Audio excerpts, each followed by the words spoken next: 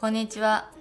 今日はファスティングをしようということでファスティング前に動画を撮っております。なんか体重が最近めきめき太ってきまして 過去の動画見返したんですよ。すると2022年の11月の14日から2ヶ月間ダイエットしてこの時はリベルスを使って食べるんだけどまあちょっとね気をつけていこう。で2ヶ月間様子見ようっていう動画を撮りました。その前に2020年の11月3日もファスティングしましたよっていう動画を撮っております。で今回その2ヶ月の猶予がなく明日から1週間平日仕事を休もうと思っていてそこでちょっとね体重を戻したいなって思ってます。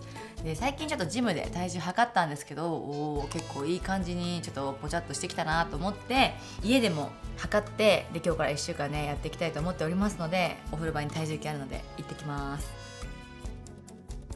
それではファスティング始める前に体重を測ります。ジムに1週間ぐらい前にいた時は50キロを切ってたんですけど。あーうあちょっと待ってこう携帯持ってるといえど今50.5だった気がする。1キロ増えたかな？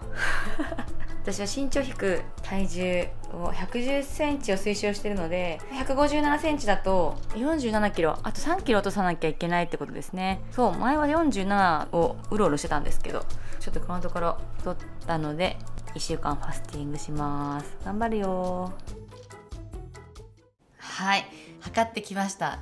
ちょっと自分でもびっくりした内容だったんですけどジム行ってって週1ね。それで、えー、なんか49.5ぐらいだからちょっと3キロファスティングで1週間で痩せて46キロ台の自分久しぶりに見えるなとか思ったらこれほんと3キロ痩せてもまだ47を超えてるから身長低く1 1 0センチを目指す私としてはあれっていう感じで。で前回のこの動画を見てると同じこと言ってるんですよ。身長低く110が大事だから痩せます痩せてよかったですって言ってるのにまた私は同じ過ちを繰り返している。過ちというか仕事柄飲んで食べてが多いんですよ。どれぐらい飲むかというといつも食事外食行って同伴の時はだいたい日本酒を3合ぐらい飲んだ後にワイン1本飲んだりとかシャンパン1杯乾杯飲んだ後に紹興酒1本飲んだりでその後お店に行ってシャンパン2本飲んだりとか本当に毎日それぐらい飲んでいて、うん、飲んでない日っていうのが平日は多分1日もない日を1年半エンドレスで続けていて過去その動画で50.7キロがもうちょっと大変だまずいぞっていう風に話したんですけど今それに肉薄する感じで50.6カメラ持ったが50.5ぐらいと思うんですけどになってました。はあまたちょっとな。しかも前回の動画結構顔細いな。やっぱこの辺細いんですよ。で私は体型がウェーブなんであんまり上半身つかないんですよね。肩鎖骨二の腕もそんなに多分太くはない。ですが足がすごく太いんですよ。太いというかたくましいというか45キロぐらいの時もあったんですけどその時も結構足は普通のその45キロの人の体型から比べたら、えー、結構がっちりしてたなと自分でも思っております。でそれで今回1週間ファスティングっていうのはもう他に日がないもうできないのでちょっと強行突破で、え、3キロ戻していきたいと思います。3キロ戻してまた太るぞみたいな1年半かけて太っちゃうよって思うかもしれないんですけど、まあ、当然の食生活をしていて私は月曜日から金曜いや土日もなんですけど全部外食なんですよ。多分コースを25日ぐらい食べてて土日はアラカルトをメインに食べてるんですけども家で食べることはまほとんどなくてたまに同伴が当日キャンセルになる時は、えー、家でねウーバーでサラダ食べたり好きなものをねちょっと麺をささっとねうどん食べたりをしてるんですがほんとそれ以外全部びっくりする外食なんですよ。だから食べて痩せるっていうのはちょっと無理かなと。今後のスケジュール考えたら特に大きな休みもないですし、うん、無理だなと。だから食べないで痩せる。食べないで痩せるけど自分の中で貸してる方法はまず一つ酵素ドリンクを飲む。これファスティング大事。でその2えー、ウーバーで酵素ジュース、まあ、その生のフレッシュジュースを頼む。でこれはお店を特に決めてなくてその日の気分で決める。じゃ今日はこの店明日はこの店。で量も特に、えー、絶対私は1日6本飲まなきゃいけないってやるんじゃなくてこれは自由にする。で3つ目お酒を抜く。だから仕事をしてない日じゃないと、まあ、ファスティングできないですね物理的に。でファスティング結構昔からやってて今回で何回前かな10回以上やってるかな。平均で1年に1回ぐらいはやってこう3キロ戻してっていうのを繰り返してるんです。で終わった後外食再開しても3キロバーンって太るわけじゃなくて12年ぐらいかけて今回みたいにダイエットしてまた太ってダイエットして太ってを繰り返してます。だからその3キロ痩せることはもう全然無駄になってなくて1年で戻ってるじゃんと思うかもしれないですけどこれをしないともう私の人生多分 3×10 回で30キロ太ってるはずなんですよ。本当に際限なく。でそうなっては困るのでやります。例えば今月の食事だったら結構、まあ、3月の食事1日2日はこれパリにいたんでなんか食べてます。で3日3日はこれは呉服っていう私が大好きなビストロのお店に行ってワインを1本飲みながららビストロ食べてました。8日これは家で食べたんですよね。で12日が焼肉食べました日曜日。で13日があこの日は久しぶりに家食べたんですよ。これもね先週引き続き。15これ川村。あステーキ。美味しかった。で18から社員旅行。18192021日はみんなで社員旅行でタイ料理食べたりお肉食べたりお酒飲んだりしました。で22日が空花さんっていう和食のお店に行って23日が今日長谷川実弘フレンチです。で明日から30日までレストラン予約してません。はあちょっとやっとね。リセットできる日が来ました。外食好きなんですけど痩せるのも大事なんで明日から頑張りたいと思いますではファスティング1日目始めていきます。酵素はこちらを買いました。ビューティーエンザイムエステプロラボです。これいろんな色ありますよ。オレンジ、うん、緑もあったかな。昔飲んであまり癖がなかったので今回もリピートしました。Amazon ですぐ届きます。そしてジュース。これは Uber で頼みました。イエス東京。いつの間にか瓶になってました。前回はプラスチックでした。まあ、1年くらい前になるのかなもっと前かな。やっぱ最近ねプラスチックあまり良くないということでこういった瓶になっていっております。で今回サンシャインジュースもちょっとウーバーで見てたんですけどもそちらも瓶になっていて今もう12時過ぎたんですけどもあんまりお腹空いてないんですよ。昨日結構飲んで食べてしてたくさん飲んで本当にお腹いっぱいだってぐらい食べたので午前中何にも食欲わかんなくてとりあえず今日はこの3本だけ飲みたいと思います。3本と酵素ドリンクとそしてお水お水は2リットル飲めるかな？1.5リットル目指して頑張ろうかなと。あまりね考えすぎてガチガチにルール決めちゃうと続かなくなるので、まあ、好きなねジュースを飲んでそして酵素を取ってお水を飲んで気楽な感じで1週間続けようと思っております。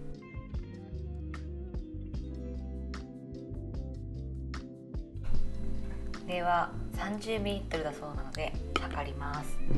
このキャップは付け替えられるので今のうちに付け替えちゃいます。うんこんな感じ。で30あこれここまでが30なんだね。これどんだけ飲むんだろう？ちょっと見てみよう。1日 30ml を目安に。あそうなんだ。1回30じゃなくて1日30でもファスティング中って他何も取らないから結構これ3回ぐらい朝昼晩って分けて取ったりするパターンもあったりまあ酵素によるんですけども。私は1日3回ぐらい飲もうかな。あでも結構これ大変かなじゃあ1020ぐらいしちゃう。お昼ご飯の代わりにこの煮汁とジュースこれにしよう。1本いただきます。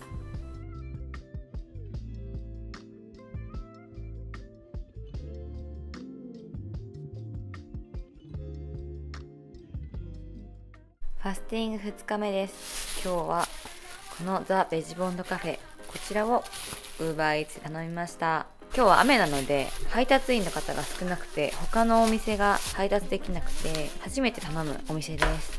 でもこれも結構コールドプレスジュース力を入れてるようではい書いてますけどファスティングやダイエットアンチエイジングに使ってください。ということです。昨日はまあ1日ジュースあの3本と酵素ドリンク2杯飲んで終わったんですけどもう多分普段もう結構暴飲暴食というか普通の人から考えたらめちゃくちゃ食べて飲んでしてる方なので体があんまり食事を受け付けなくてむしろ昨日ぐらい何も食べない方がちょうどいいという感じでした。はい今朝も酵素飲んでいきます。大体もざ大体ざっくりだ。これぐらいでいきます。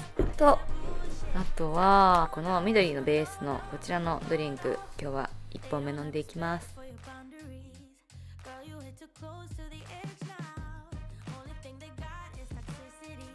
3日目です今日はこのオルビスのスキンケアラウンジっていうところのインナーカラージュース3本セット。雨で午前中全然ウーバーがなくてお昼過ぎてここだけ唯一配達してくれるお店でした。雨の中ありがとうございます。配達員さんのおかげですね。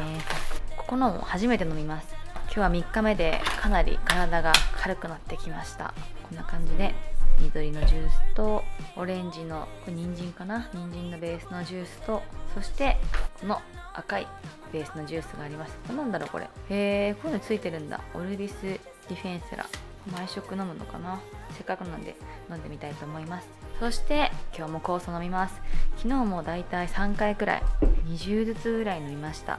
で思ったんですけど朝一コールドプレスジュース飲もうと思ってもなかなかウーバーも雨だと配達員さんがいなくてすぐ近くのお店を選べないので昨日は4本のセット買ったんですよ。それで1本今日の朝用に残しておいてそれを今日午前中9時ぐらいに飲みました。で午後からこの3本を飲みます。で明日はコールドプレスジュース予約してるところがあって朝配達のところをお願いしてるので今日はこの3本飲み切りたいと思います。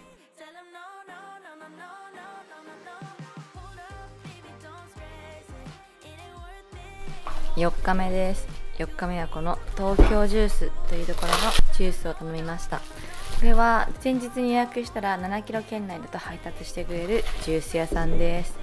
で今回は私は中級セット頼みました。初心者セットもあったんですけどもクレンズ始めて4日目なので今回はこの中級セットにしました。はい中はこんな感じです。では早速飲んでいきます。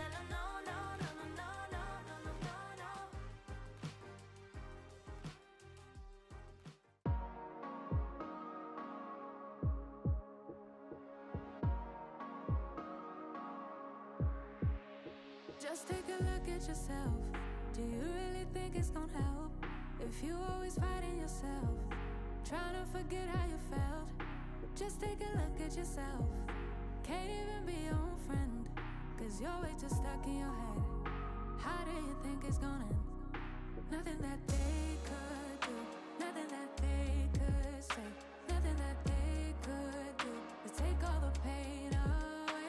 Sometimes you おはようございます。5日間の重視生活を終えて今日は6日目の回復食の日ですこういった粥を買ってきました。それに毎食お味噌汁を足したいと思います。あと孫は優しいという素材を使って豆とかごまとか野菜が入っているお惣菜を中心に選びました。回復食の日は動物性タンパク質鶏とか魚とか卵を控える方が良いとのことです。私は普段1日1食か2食しか食べないのでこの量を1食2食だとちょっと多いなっていう感じもするのですが体を慣らしていくという意味でも3回に分けてちょこちょこちょこちょこ少しずつ取っていきたいなって思っております。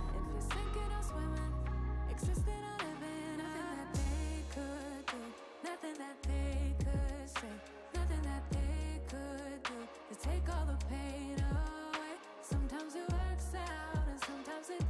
ァスティング終了して今日は8日目です。5日間の重生活と2日間の回復食を終えて今から計測します。どうだ？あ減ってる。携帯持って？48.8お減ってます。体重を測定しました。結果はマイナス1 7キロの減量でした。今回その体重以上にすごくすっきりしたような感じがします。このフェイスラインとかあと横の首のラインそしてこの頬のラインが自分の中ではとてもすっきりここがねシュッとしたような感じがします。大体私ぐらいの160弱ぐらいの人だとうんまあそんなにね1週間ファスティングしたからって言って4キロ5キロスルスルっと痩せるっていうよりも過去やってきた感じでは自分の中では大体2キロ。でよく減って2キロ半とか3キロぐらいだったのかなっていう感じがします。あともっと痩せようと思えば準備食私ちょっとね準備食がほとんどなくて木曜日パーッと仕事してそして金曜日からファスティングスタートってしてしまったのでそこの準備期間を、まあ、2日ぐらいおかゆとか体に優しいものにすればもう少し体重がね減ったのかなっていう感じもしました。あとは女性の生理周期。例えば生理が終わった後だとすごく減りやすいんですけれども、まあ、例えば生理から10日前とかそれぐらいからだんだんこう体が痩せにくい体質になってくるのでこの時期にしてしまうとまあ、あまりねファスティングした割には思った通りの結果が出ないっていうこともあるんじゃないかなって思います。で今回私はちょうどね、えー、月の真ん中ぐらいで始めたのであまり痩せにくい時だったんですけどそれでも2キロ弱落ちてやっぱりこうね体が楽になった感じがしたのでファスティングをしてよかったなって思いました。あと今回はいろいろ別々なところを Uber のお店で選んだんですけれどもその中で私が一番良かったなって思うのは東京ジュースというところでした。こちらがいいなって思う点は家の7キロ圏内だったかな。近くだとお店の配達員の方が午前中に配達してくださいます。ですると今回はね雨の日が多かったんですけども雨だとウーバーの配達員の方がいなかったり近くのお店でも家に届かなかったりするのでどうしても朝1本目を9時に始めたいって思っても実際手元に届くのが11時だったりまあ、そうやってね配達員の方が動く時間だったりするのでちょっと予定通りに始められない日もあったんですけどもそうはならないようにちゃんとこちらのお店だと朝この時間に来てくださいますよっていう予約できるので自分の思った時間で始められるのがとてもいいなと思いました。あととてもボリュームもあったし味も美味しかったしいろんなバリエーションがあったので今度ファスティングする時もこちらのお店をリピートしたいなって思っております。ということで今回ファスティング1週間チャレンジしました。とてもすっきりして満足の結果でした。よかったら皆さんもぜひいろんなところのお店試してみたのでそちらからもしいいなって思うところがあったらぜひ皆さんも試してみてください。また次回の動画でもお会いしましょう。バイバーイ。あ痩せてる。